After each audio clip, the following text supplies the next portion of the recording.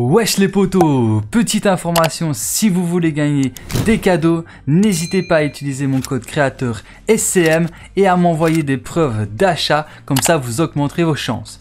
Et sur ce, je vous souhaite à tous une bonne vidéo, let's go Wesh les potos Bienvenue sur ma chaîne YouTube, c'est Swakulo Mike et dans cette vidéo, je vais vous expliquer comment vous allez pouvoir rentrer dans la chambre forte de Cathy Corner. Alors tout simplement, la chambre forte de Cathy Corner se trouve à l'endroit que je vous montre sur la map.